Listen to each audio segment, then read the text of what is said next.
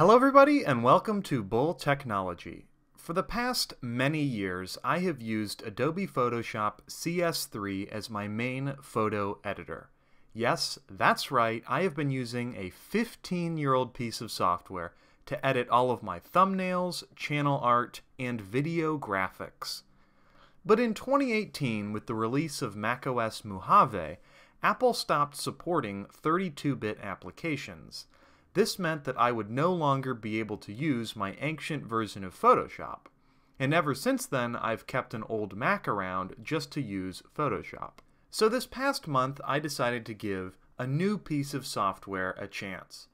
I decided to use Affinity Photo, and today I'll be giving it a review. In the interest of full disclosure, Serif Software isn't sponsoring this video, and all of the opinions you are about to hear are entirely my own. So let's get started.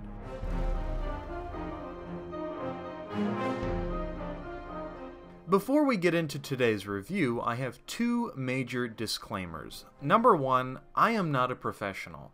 I probably use about 10% of Photoshop's features. I mainly use layer, scaling, and text features with the photos I edit. So if you're expecting me to go over all of Affinity Photo's features, then look elsewhere. This is going to be a casual review. Number two is more of me addressing an obvious question. Why didn't I just upgrade from CS3 to Adobe Creative Cloud? Well, I have two main reasons. The first is I hate Adobe. I could go into more detail, but I'll leave that for a future video. Number two is simply the cost. For Photoshop alone, Adobe charges $21 a month to use. This is absolutely insane. In contrast, Affinity Photo costs $54 to own indefinitely. The cost of Affinity Photo is equivalent to only two months' usage of Photoshop. Simply put, I can't afford Photoshop. Okay, so now on with the review. Affinity Photo is a professional photo editing piece of software developed by Serif, a UK-based company. Affinity Photo is available for iPad OS, Mac OS, and Windows, and retails for $54.99.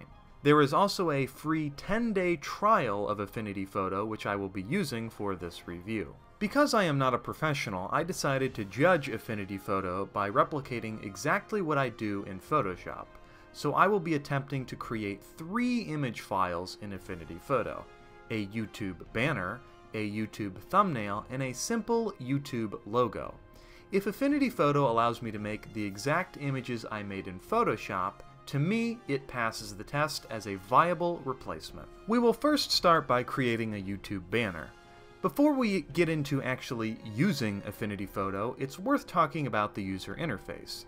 The user interface is modern and clean, and things are placed in a pretty common sense location. It's not identical to Photoshop, but things are similar enough that you should be able to find things pretty easily. Creating a new image in Affinity Photo is incredibly easy, and there are a wide array of options. I'll be creating a 1440p blank image file as the canvas for our banner.